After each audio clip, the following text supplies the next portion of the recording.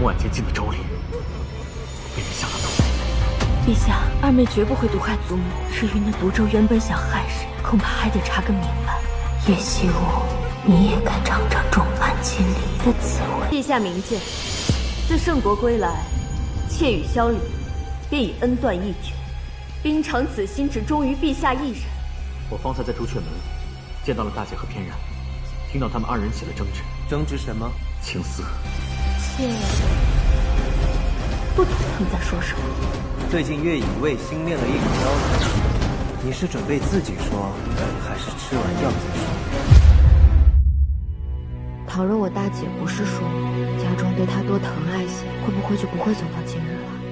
你说，若是有了情丝，会是什么样的感觉？你怎么来了？他担心知道你过来了。我来看你一眼就离开，不用告诉他。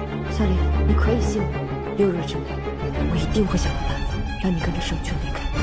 二小姐，其实你不是叶惜武吧？这粥是你专程做给我吃的。你吃了吗？你想让我吃，只要你喂我，我就勉为其难吃上两口。从晚间进的粥里，被你下了毒。陛下，二妹绝不会毒害祖母。至于那毒咒原本想害谁，恐怕还得查个明白。叶惜武，你也该尝尝众叛亲离的滋味。太好了，你还活着！二小姐也在，谭丹静不得活活气死啊！叶惜武，二小姐，你怎么了？醒过来！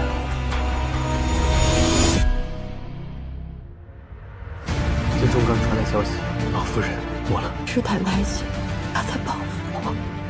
何人挡路？怎么是您呢？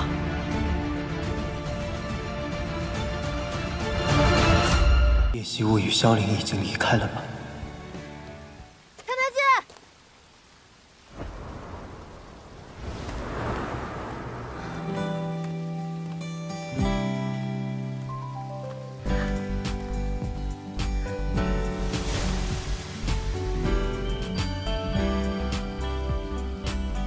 你不是都走了吗？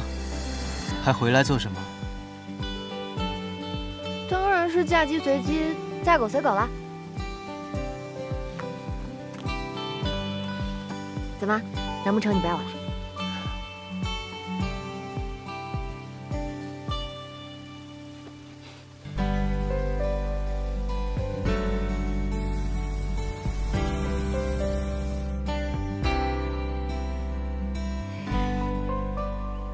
花言巧语，天首领，把他牵回去，看看是不是被什么脏东西附身了。我今晚能不能睡在你这儿？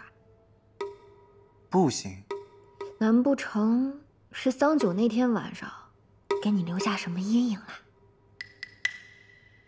闭嘴！这么说来，你在般若浮生走了这么一遭，难道就没有什么体会吗？体会。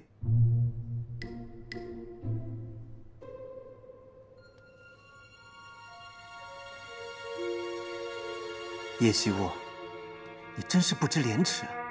想些什么呢？啊？哎，不是那个，你这人怎么总想些奇奇怪怪的？我是说感悟一类的感悟，比如我就觉得，若我喜欢一个人，一定不能像桑九那么卑微，要大声说出来才行。所以我就来找你了呀。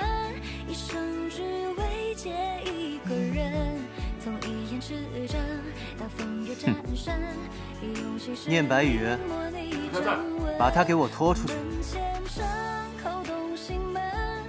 唐太监，你是不是害羞了？拖出去！是。你是不是害羞了？哎，谭太监，你脸红了！二小姐，你肯定是害羞了。对，谭太静，你把他给我关回帐篷，别再来烦姑。姑会害羞。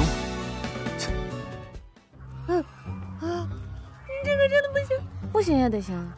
派你来打扫禽舍，照顾这些随军补给，是咱们陛下的意思。啊，谭太静怎么这么狠心啊？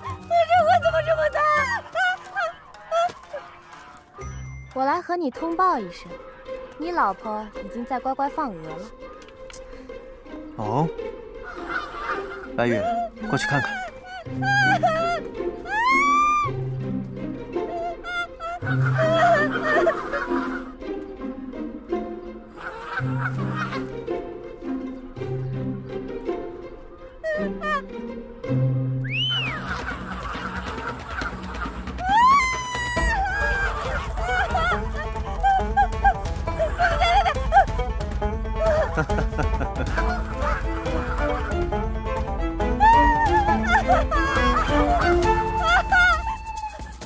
谭台姐，你不是人！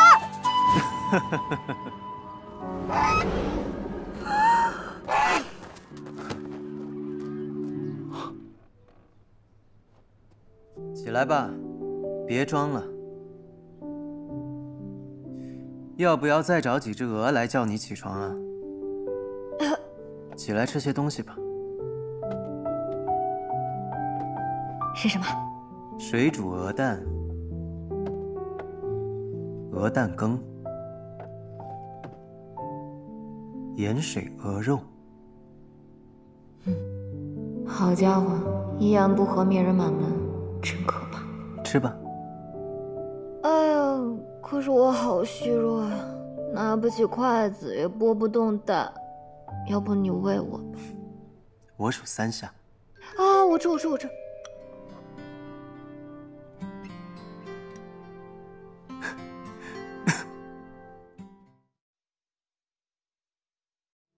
太太姐，谢谢你啊！你倒是谢得轻巧，你就准备只是嘴上说说而已。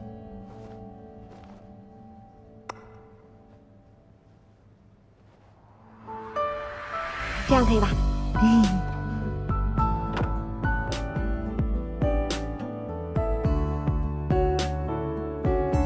你是你让我不能只是嘴上说说的。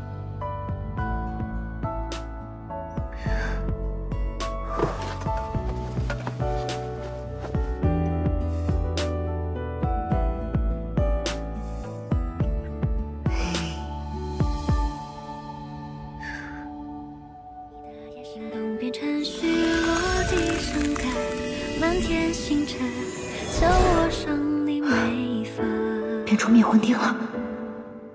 心有所想，日久月深，用星河作证，月亮作文，想要入梦。已经不早了，你还不快回去休息？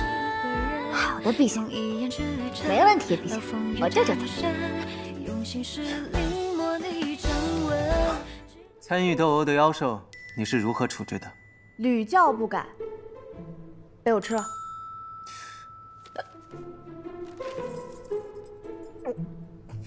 好啊，那这个月你也可以不用休沐了。你到底是不是人啊？怎么，你想抗命吗？你不休息，我们这些做疗鼠的不用休息吗？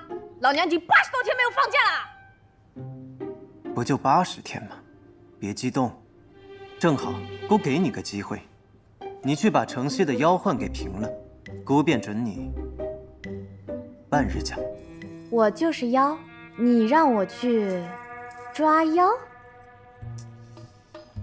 澹台烬，我记住了。好，我这就去。